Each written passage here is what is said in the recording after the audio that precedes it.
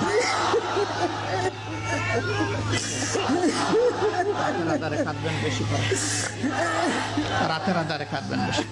গতকালকে দেখেছি আমিরে জামাত, বগুড়াতে বগুড়া জেলা এবং শহরের আমিরের ঘোষণা দেওয়ার পরে যখন শপথ গ্রহণ চলতেছিল, শপথ পরাণের সময় দুইজন আমির কান্না করতে করতে ভেঙে পড়েছে। আমিরে জামাত বুকের মধ্যে জোরে ধরে তাদের কপালে চুমু খেয়ে তাদের জন্য দোয়া করে দিচ্ছে। আল্লাহ আকবার বলেন। বাংলাদেশের চৌষট্টিটা জেলায় একই সঙ্গে আমির নির্বাচিত হলো, দায়িত্বশীল নির্বাচিত হলো। কোনো দলাদলি নাই, কোনো কোন্দল নাই, পদের প্রতি লোক নাই, বরং যাদেরকে আমির বানানো হয়, তারাই কান্না করে, দায়িত্ব গ্রহণ না করার জন্য। একটা কথা মনে করবেন বিএনপি বলেন, আওয়ামী লীগ বলেন, যত রাজনৈতিক দল বাংলাদেশে আছে, প্রত্যেকটা দলের যখন সেট হয়, প্রত্যেকটা নেতা এক লাখ, দুই লাখ, দশ লাখ, এক কোটি টাকা পর্যন্ত খরচ করে দলের পদ পাওয়ার জন্য জোরে কর না কা? আর ইসলামী দলেরা যখন আমির নির্বাচন করে টাকা নয়, বরং যারা দায়িত্ব নিতে চায় না, এদেরকে দায়িত্ব দেওয়া হয়। আর ইসলামের বিধান হলো, যে ব্যক্তি নিজে নিজে দায়িত্ব চায়, ওই ব্যক্তি ওই পদের যোগ্য নয়। দায়িত্ব আসবে আপনাকে আল্লাহর পক্ষ থেকে। আপনি নিতে চাবেন না। আজ তোমার ফারুককে যখন আমির ঘোষণা করা হলো, উমার ফারুক কান্না করতে করতে মরুভূমির মধ্যে চলে গেছে। ওসমান জিজ্ঞেস করে বলে, উমার, তুমি কেন কান্না করো? উমার ফারুক বলতেছে, আমি তো রাখাল ছিলাম। আমাকে বানানো হলো অর্ধ পৃথিবীর খলিফা।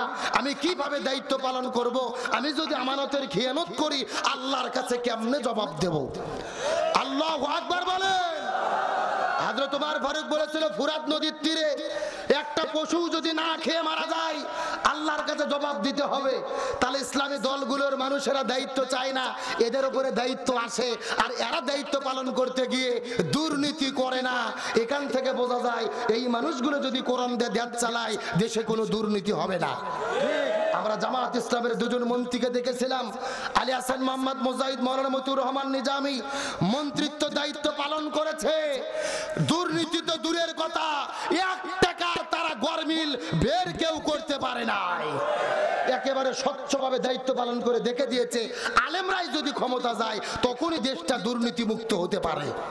সুতরাং এই বাংলাদেশটা আলেমদের দ্বারা কোরআন দিয়ে চলুক আমরা চাই কি চাই না? আলেমদের নেতৃত্বে বাংলাদেশ, কারা কারা দেখতে চান, দুটো হাত আল্লাহকে ধরে দেখান। লিল্লাহ দিয়ে যদি দেশ চলে তাহলে শান্তি আসবে, ন্যায় আসবে। ইনসাফ কায়েম হবে, মানুষেরা সুখে শান্তিতে ঘুমাবে, খেলাফতের শাসন কায়েম হবে।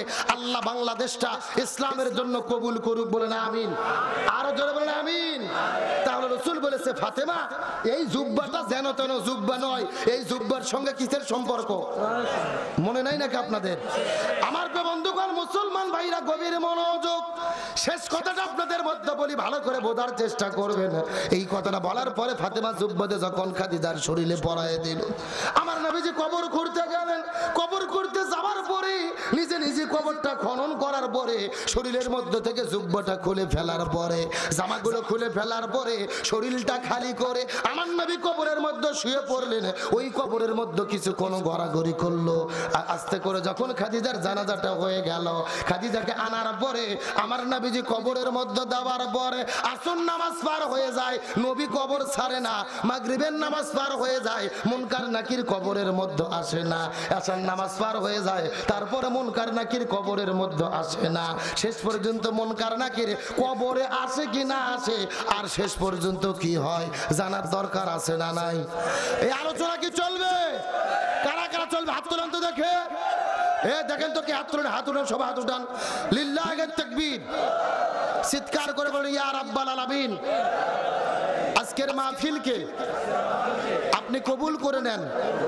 এই মাহফিলে ওসিলা করে আমাদের সবাইকে মাফ করে দেন। এই মাহফিলে আমাদের সামর্থ্য মতো দান করার তৌফিক দেন। সকলে বলে আমিন। এখন হাতগুলো মুষ্টি করেন, মুষ্টি হ্যাঁ। এখন আস্তে আস্তে নামাইয়া নামাইয়া নামাইয়া পকেটে ঢুকান। কোথায় ঢুকাবেন? যারা পঞ্চাশ, একশো, দুইশো, পাঁচশো টাকা দেবেন, মঞ্চে আসেননি, আপনাদের মধ্যে চাদর চলে যাবে, আপনাদের মধ্যে ব্যাগ চলে যাবে। এই মসজিদের যারা মুসল্লি গ্রামের যারা আছেন, একটু চার, পাঁচজন লোক ভেতরে দাঁড়ান, দ্রুত দ্রুত। খাদিজার কি হয় আমি অবশ্যই বলব মোনাজাতের আগে। তার আগে এক মিনিটের ভেতরে একটু চাদর যাবে, ব্যাগ যাবে, নাম কি? সেই আবুল কালামটা কে? আবুল কালাম তিনটে ছেলে বিদেশ আছে, টাকা দেশে এক হাজার তাই হয়। অন্তত তিন ছেলের নামে তিন হাজার টাকা দেওয়া লাগতো। যেহেতু কাছে নাই, আবুল কালাম ভাই এক হাজার টাকা দিয়েছে, আল্লাহ কবুল করুক বলে আমিন। তার ছেলেদেরকে আল্লাহ হেফাজত করুক বলে আমিন। দ্রুত ভাই, ওই চাদর টাদর দেন, ব্যাগ দেন। একজনের খাওয়া বাচ্চা। এই গ্রামের ছেলেবেলা কারা আছে? একটু ঢোকো না, চাদর না ঢোকো। দ্রুত দ্রুত দ্রুত ওঠেন। আমার দিকে লক্ষ্য করেন। সবাই বিসমিল্লা বলে পকেটে হাত দেন। যার পকেটে যা আছে দিয়ে দেন। প্রয়োজনে বেরি সেগারেট থাকলে তাও দেন। কোনো সমস্যা নেই আমরা বিক্রি করে নেব ইনশাল্লাহ। তবে দয়া করে একজন আর একজনের পকেটে হাত দেবেন না। যার পকেটে সেই হাত দেন। আর মা বোনদেরকে বলব আমার মায়েরা বোনেরা আপনাদের মধ্যে ব্যাগ যাবে চাদর যাবে। স্বামীর পকেট মারে যেই টাকাগুলো নিয়ে এসেছেন দয়া করে নিয়ে যাবেন না। কোরআনের মহাব্বতে বিশ পঞ্চাশ একশো পাঁচশো যে যা পারেন কোরআনের মহাব্বতে দিয়ে দেন ইনশাল্লাহ। আল্লাহ তাআলা আজকের দানকে কবুল করবেন। আমি মুসাফির মনে দোয়া করব। জি। দিবে বললেন বলছি তো, মহিলাদের মধ্যে ব্যাগ যাবে, চাদর যাবে, একটু দুই, তিনজন দায়িত্ব নিয়ে টাকাগুলো এক জায়গাত করে কমিটিকে দেবেন। আর যদি আপনারা আপনার দেন এক হাজার পাঁচশো নগদে বাকিতে, নামগুলো একটু লিখে মঞ্চের দিকে নিয়ে আসেন জি। এই চাষাই তো আসল কাম করছে রে। দেখেন, বলার আগে মা বোনদের মধ্যে থেকে এক ব্যাগের মতো টাকা নিয়ে এসছে, আলহামদুলিল্লাহ কোন।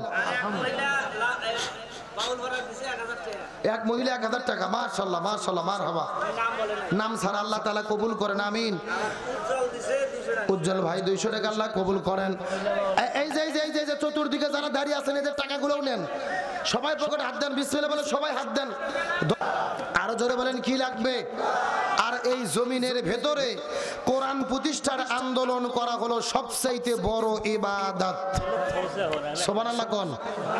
নামাজ পড়া ইবাদত, হজ করা ইবাদত জাকাত দেওয়া ইবাদত। কিন্তু সবচাইতে বড় ইবাদত হলো কি প্রতিষ্ঠার আন্দোলন করা? কোরআন প্রতিষ্ঠার আন্দোলন করা, দিন প্রতিষ্ঠার আন্দোলন করা, এই জমিনের ভেতরে একামতে দিনের কাজ করা। সোমান আল্লাহ কোন?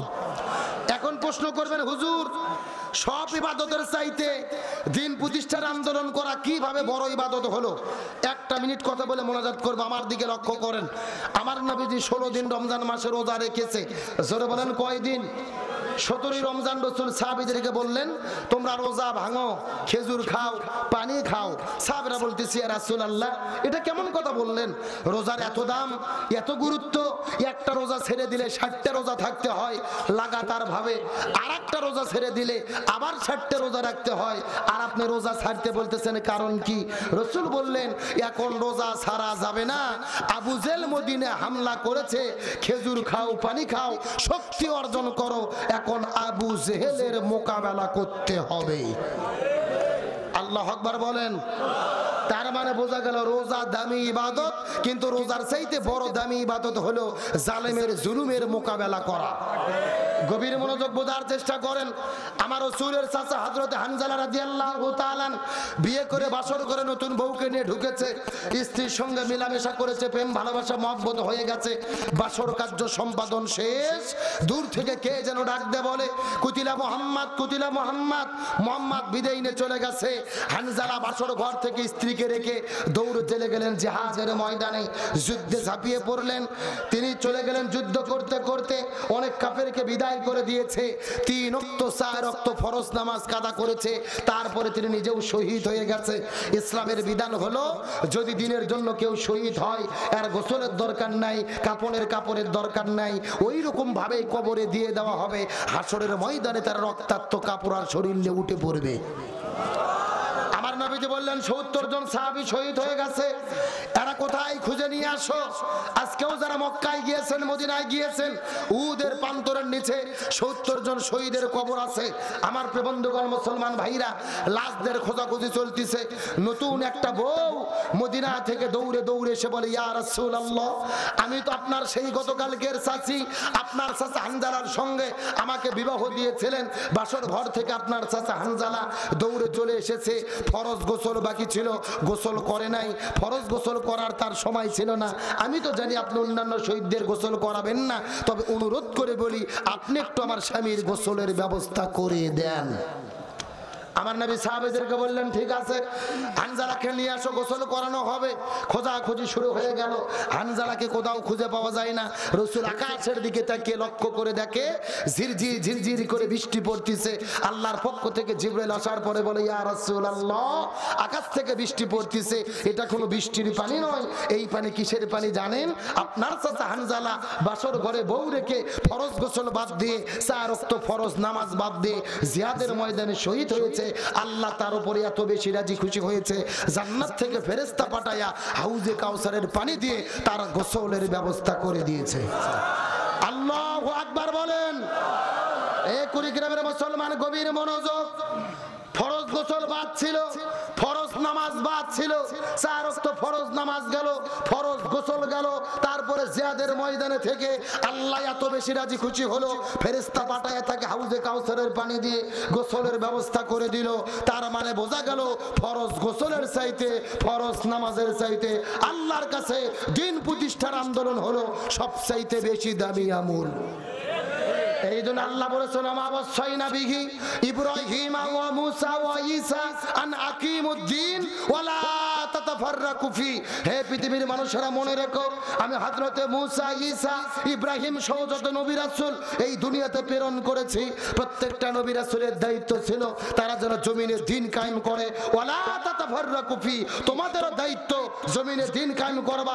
ব্যাপারে কোনো দলাদলি করা যাবে না। আপনি জমিতে খেতে খামারে কাজ করেন, করে খাচ্ছেন, খান, কোনো সমস্যা নাই। আপনি চাকরি করতেছেন, করেন, কোনো সমস্যা নেই। আপনি ব্যবসা করতেছেন, করেন, কোনো সমস্যা নাই। তবে মুসলমান যদি দাবি করেন, এই দেশের ভেতরে কোরআন কায়েম হবে, এই ব্যাপারে কোনো দলাদলি করা যাবে না।